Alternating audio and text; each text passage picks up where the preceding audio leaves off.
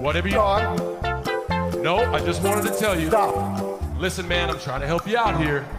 Please. Hey, No, just No. This one Stop. time. Don't just no. Stop. Stop. Come know, Come here. John. Come.